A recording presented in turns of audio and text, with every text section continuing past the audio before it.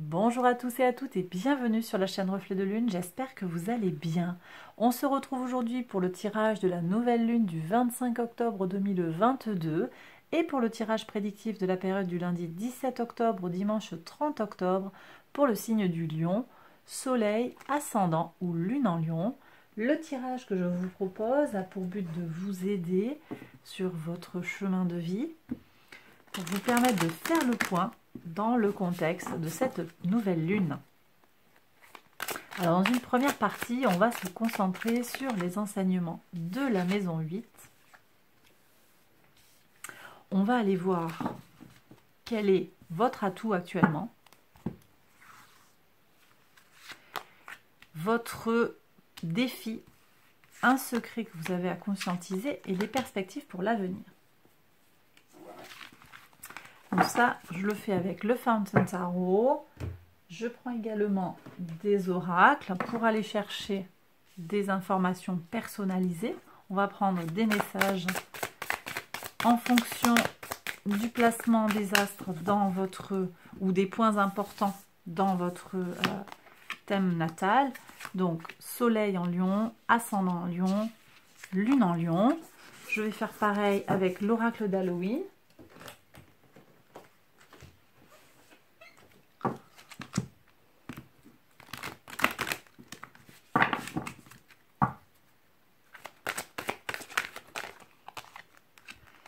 L'oracle d'Halloween, donc soleil en lion, ascendant en lion et lune en lion. Hop.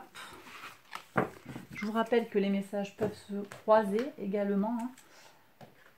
Ça arrive, on verra ce qui sort et je vous invite à prendre les messages qui résonnent par rapport à votre situation. Bien entendu, j'en appelle à votre discernement. Alors ici, avec les cartes du pouvoir du lâcher prise, on prend une carte pour les personnes qui ont le soleil en lion, l'ascendant en lion et la lune en lion. Ok, donc c'est parti, on y va pour les interprétations. Donc votre euh, point fort actuellement, mes lions, c'est votre capacité à euh, réfléchir clairement. Vous avez les idées claires, vous avez... Alors effectivement, vous avez Mercure qui est bien aspecté, euh, donc c'est vrai que ça vous apporte une énergie mentale claire. Vous avez Saturne qui est à l'opposé de votre signe, mais bon, vous arrivez quand même à, réfléchir correctement, à, être euh, efficace et à ne, vous n'hésitez pas à renouveler en fait euh, vos idées, votre comment on appelle ça, votre approche, votre approche des problèmes, votre approche des nouveautés qui entrent dans votre vie. On sent qu'il y a une certaine ouverture mentale très positive, pour la période. En plus, on est sur une période de transformation, hein, transformation, fin des choses, mort et renaissance. Donc il y a peut-être besoin de voilà d'avoir les idées claires. Et on me dit ici que vous avez cette capacité-là à vous renouveler, à vous régénérer sur le plan mental. Très très bien, mes lions.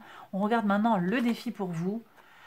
Alors, bah, le défi vient de Saturne, effectivement, qui vous bloque dans une certaine rigueur mentale, dans son cadre de limitation. Euh, j'ai des gens aussi qui quand même ont du mal à se projeter sur une réussite totale et complète. J'ai des gens qui doutent d'eux-mêmes.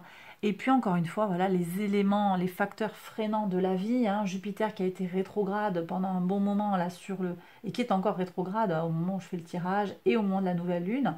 Rétrograde en Bélier. Euh, ça, va, ça vous a impacté directement. Il y a eu des frustrations. Vous n'arriviez pas peut-être, vous n'arrivez pas actuellement à atteindre vos buts. Euh, ça peut aussi vous amener à vous remettre en question sur vos propres capacités. Pourtant, il n'en est rien. Jupiter rétrograde, c'est aussi une énergie en particulier euh, dans le signe du bélier qui est associée à la maison 1, hein, à, notre, vitalité, notre état d'esprit, nos possibilités dans la vie. Euh, c'est une énergie en fait qui est en lien direct avec une limitation des excès de l'ego. Voilà. Donc finalement, c'est un, comme une, un garde-fou presque, ce Jupiter, euh, ce Jupiter rétrograde. Euh, c'est un limitant structurant qui vous aide à, finalement à avancer au final. Donc voilà, au bout du bout, vous aurez une avancée, une maturation. Il y a une expérience de vie à traverser, donc relativisez Et je pense que vous en êtes tout à fait capable. Hein. Vous avez cette capacité mentale, je le redis, à accompagner les choses comme elles viennent. Donc, euh, bah, c'est très bien. On va quand même aller voir le secret. Qu'est-ce que vous avez? Bah oui, transformation, le jugement.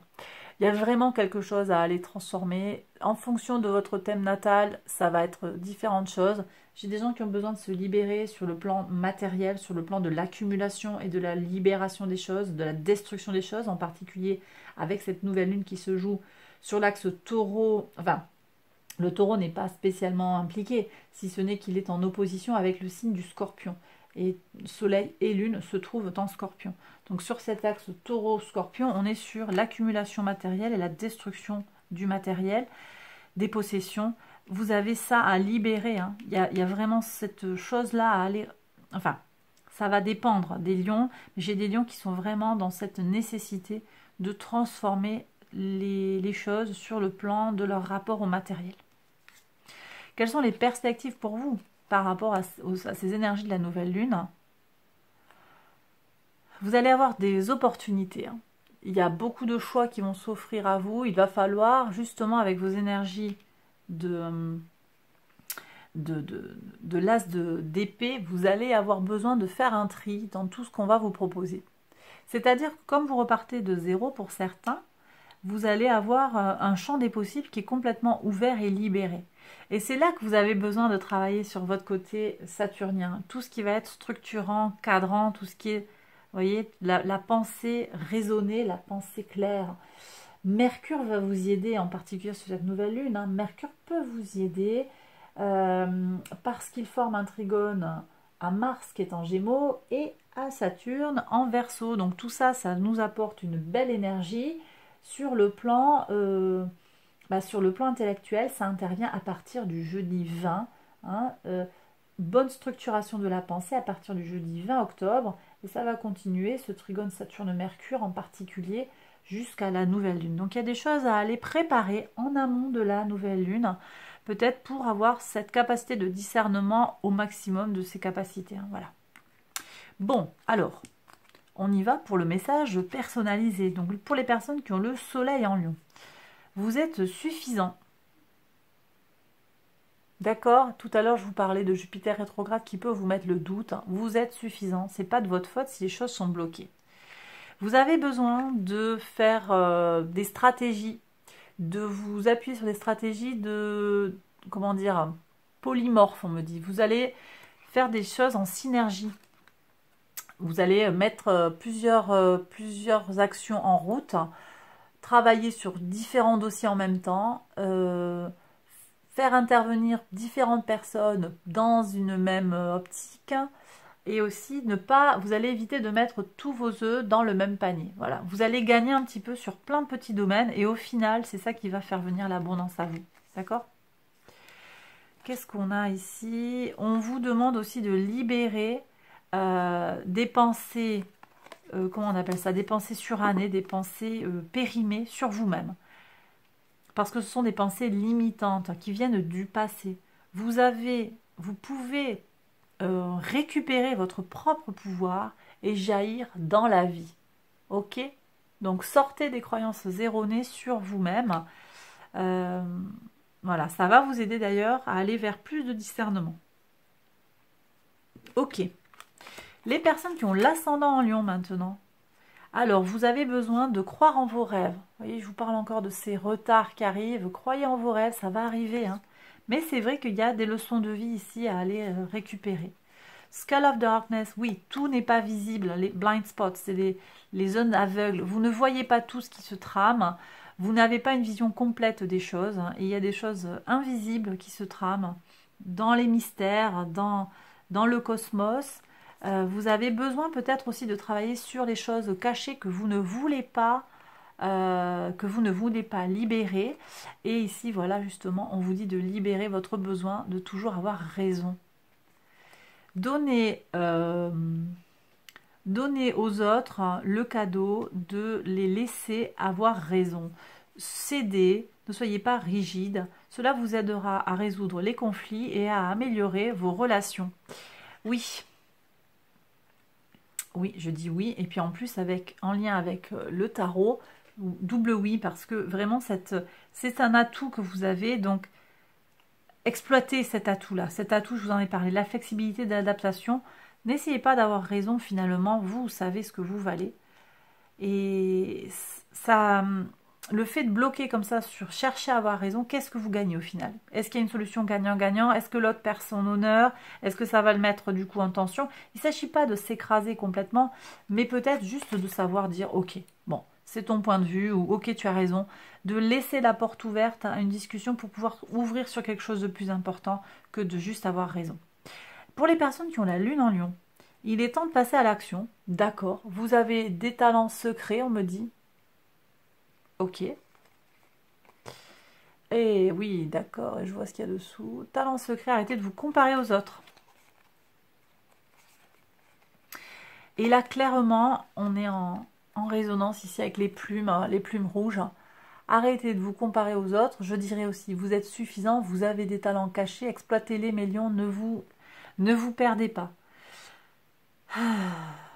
Gardez un œil entraîné sur vous-même. Focalisez-vous sur vos propres forces, sur votre, euh, votre capacité à attirer les choses à vous et votre pouvoir. Ok? Voilà. Bon, eh bien, ah, je vais mettre ça comme ça.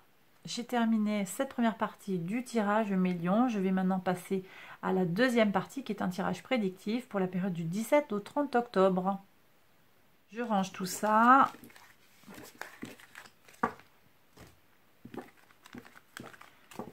Et je vais maintenant passer au tirage prédictif, donc avec l'oracle Ro.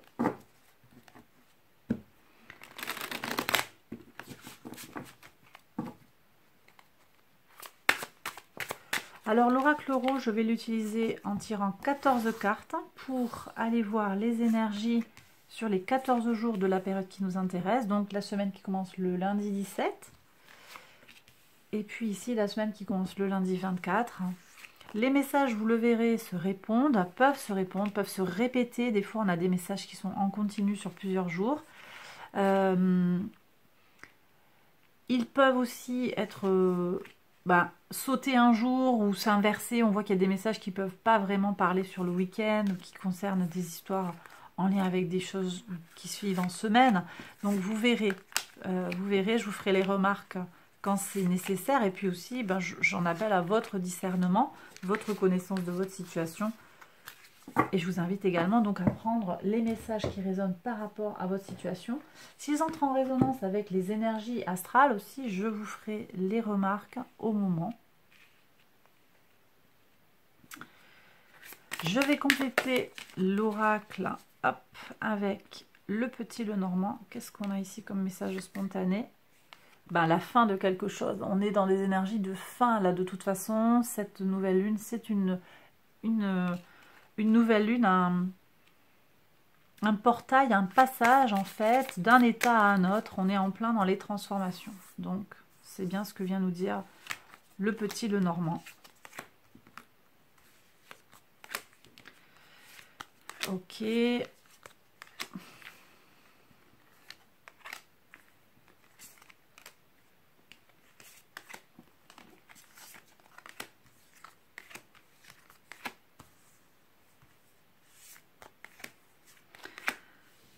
Allez. Je range tout ça et on y va pour les interprétations. Alors mes lions, le lundi 17, euh, on sera sur le 17 octobre, vous avez de la chance au travail. Très bien. Euh, une opportunité, une réussite au travail. On me dit aussi que vous avez de la chance sur peut-être un manque d'honnêteté de quelqu'un, quelqu'un qui va être démasqué, quelqu'un qui va se révéler, qui va vous montrer son véritable visage. Ok, alors sur le mardi 18, qu'est-ce que vous avez? Hmm. Alors ici, on me dit qu'on s'engage pour du changement, ou on s'engage malgré l'instabilité des choses je ressens quelque chose de positif parce que je, ressens une notion de stabilisation sur l'instabilité. Donc il y a un équilibre en fait qui va se construire ici. Très bien, on va voir, ça peut être sur le plan romantique, sur le plan relationnel, sur le plan euh, sentimental, voilà, sur le plan occupationnel globalement. Des choses qui se stabilisent. Peut-être en lien avec cette opportunité hein, ici, c'est possible. On va voir ce qu'il y a à la suite. Le mercredi 19. Ok, bon. Ici, il y a un coup de couteau. Euh, mais vous, allez en fait, grâce à votre ancrage, vous allez le supplanter. Vous allez esquiver un coup de couteau. Vous voyez, je vous disais, il y a de la chance. Peut-être c'est la communauté aussi qui vous protège d'une trahison, euh, un manque d'honnêteté. Alors, prudence sur les réactions émotionnelles par rapport à cette nouvelle qui concerne une trahison. Parce que là, on aura une opposition Lune-Saturne. Donc peut-être quelqu'un vous a fait un, Voilà. Quelque chose qui est malhonnête. Vous allez rester quand même très ancré et vous allez laisser filer ça. Et c'est tant mieux parce que cette opposition Lune-Saturne, elle peut venir euh, ben, vous, vous titiller, quoi. Clairement, euh, au moment où on a cette, opposition, Saturne étant euh, à l'opposé de votre signe, ça veut dire que la Lune étant Lion, deuxième décan Lion, donc en particulier deuxième décan, vous allez avoir euh, quelque chose d'assez puissant par rapport à une, une trahison du passé. Vous avez besoin, ou vous allez, ça va dépendre de chaque situation, de comment vous vous sentez, aller chercher votre ancrage, Restez zen par rapport à ça, puisque l'opposition Lune-Saturne, elle va venir frustrer les réactions émotionnelles. Donc, pas la peine de vous rajouter des problèmes. Bon, alors le jeudi 20, on a un beau trigone de Saturne à Mercure qui commence. Et qu'est-ce que vous avez ici? Très bien. Là, j'ai quelqu'un qui va purifier, nettoyer ses chakras, aligner ses chakras. Ça peut être vous, vous êtes un homme. Ou bien, c'est dans votre dimension masculine que vous alignez tout ça ou vous allez voir un énergéticien, vous consultez quelqu'un qui va vous aider sur le plan énergétique, sur le plan du bien-être. Ça peut être aussi un acupuncteur. Voilà, on parle de chakra, c'est un alignement énergétique en fait, d'accord? Très positif. Euh, très positif, c'est possible que cette trahison, là, cette semaine un petit peu tendue, vous invite à déclencher cette prise de rendez-vous ou cette, cette consultation. Très positif. Euh, le vendredi 21, qu'est-ce que vous avez? Bah, Des nouvelles d'un feu vert. bon, les feux sont au vert et des avancées euh, très rapidement sur des choses très concrètes. Vous avancez concrètement sur des dossiers. On va vous donner un feu vert pour quelque chose. Toujours pareil, ça peut être... Euh, moi, on me dit sur un dossier que vous avez demandé, un dossier de... un dossier de qualification pour quelque chose, pour une subvention, quelque... on va vous dire ok pour la création d'une entreprise, enfin des énergies très soutenantes qui vont vous aider à avancer dans votre, ouais, sur votre chemin de vie, des papiers, des choses comme ça. Ouais, ouais, ouais. Une autorisation obtenue pour faire quelque chose. Profitez-en, c'est le moment d'agir. Qu'est-ce qu'on a ici? Alors, il y a une tension sur l'émotionnel quand même qui apparaît. C'est peut-être quelqu'un qui manque d'honnêteté, ça peut être vous, ça peut être l'autre, sur le sentiment, sur l'émotionnel. On n'a pas tout dit, tout n'a pas été exprimé.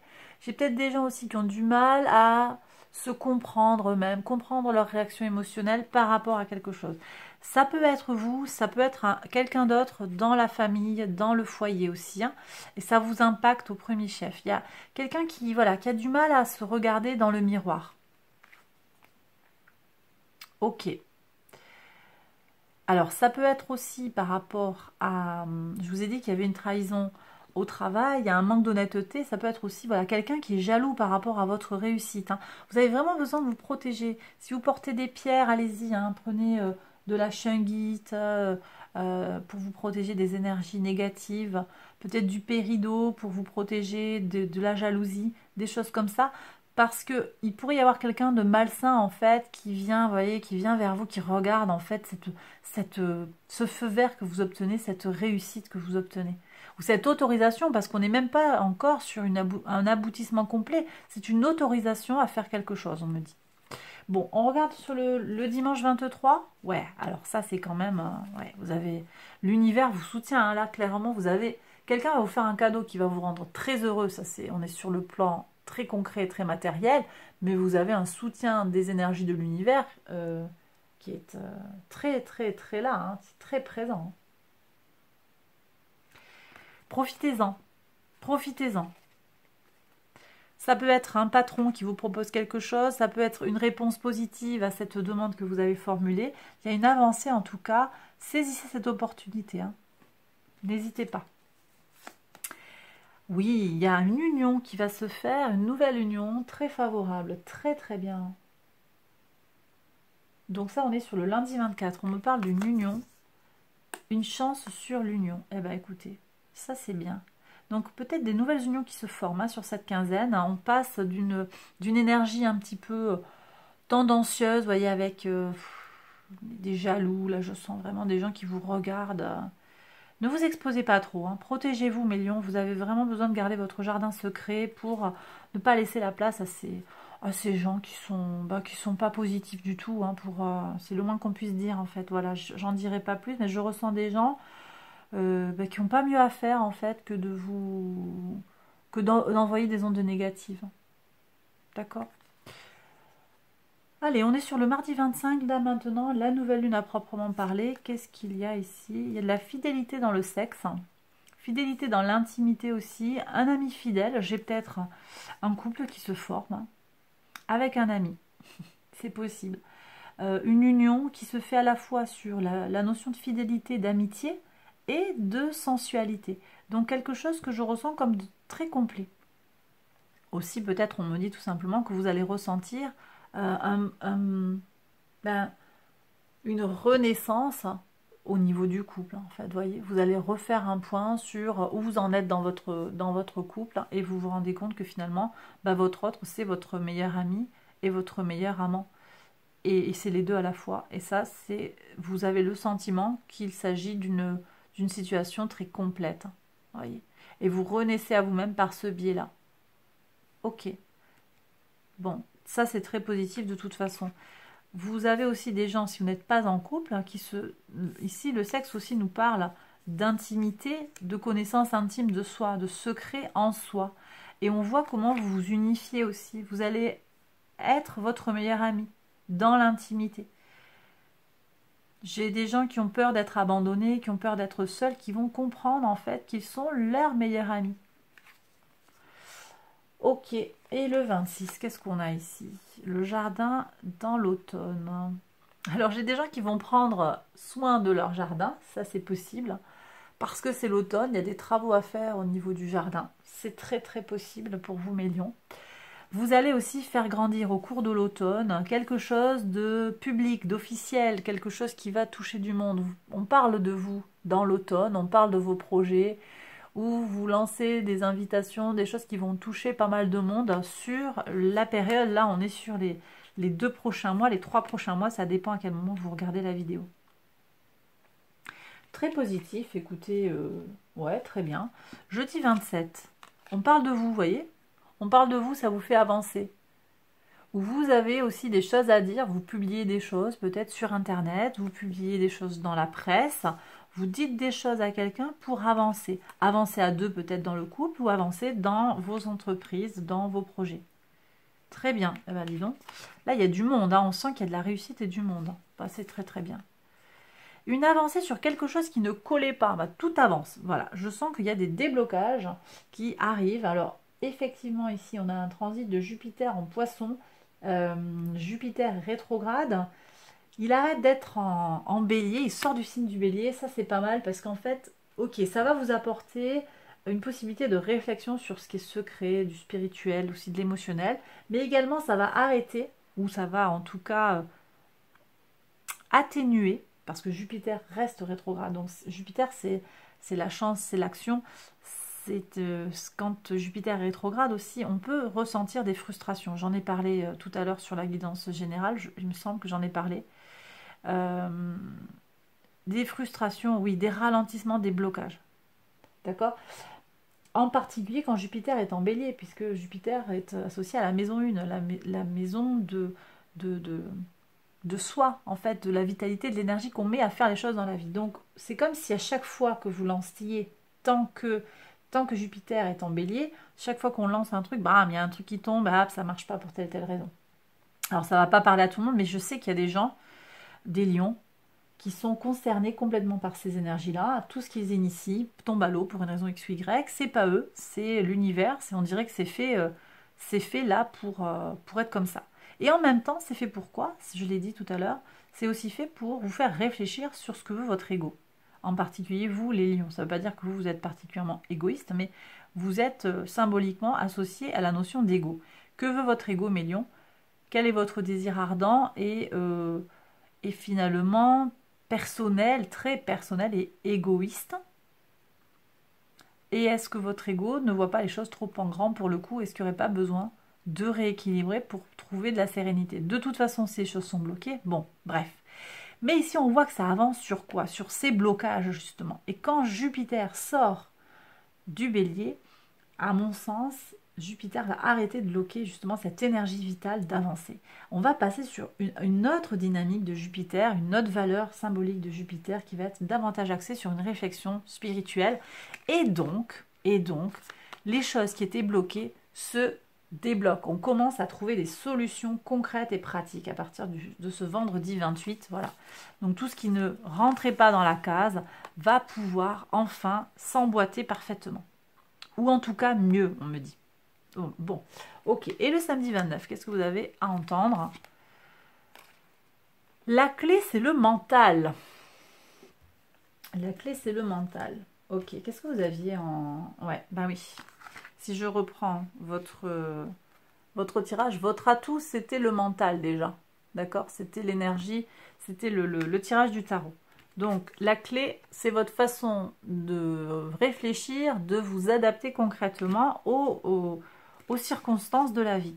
Donc, allez-y sur le mental, pas le mental qui vous ronge, hein, mais le mental pratique, le mental qui est euh, voilà, le Mercure qui est euh, bien aspecté avec Saturne, donc est bien aspecté avec Mars. On est encore sur ces énergies-là de la nouvelle lune. Là, c'est des énergies très positives, d'équilibre. Vous avez encore euh, voilà, toute une période là qui va être très positive. Le transit de Mercure en scorpion va apporter une autre dimension à votre réflexion qui peut être très puissante et très intéressante, peut-être un petit peu plus difficile à négocier. Bon, votre travail mental, vos idées, votre intellect vont vous aider à avancer, mes lions, de toute façon. Ok?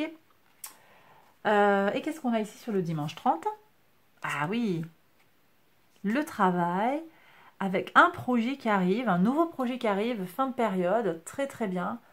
Euh, ouais, pour, pour, moi, là, c'est des projets, projets au travail, projets sur le plan occupationnel. J'ai aussi des gens qui travaillent à avoir un enfant, d'accord Donc on se lance, on fait, on fait des bébés. Bah écoutez, très bien. Ouais. Bon, énergie positive hein, pour finir la période. Écoutez, Mélion, vous avez un super tirage. J'espère que ça vous a plu, que ça vous a parlé. J'ai terminé. Je vais maintenant euh, vous embrasser conclure la vidéo. Je vous retrouve très très vite pour une prochaine vidéo. Prenez bien soin de vous pour la période qui arrive et à très bientôt. Bye bye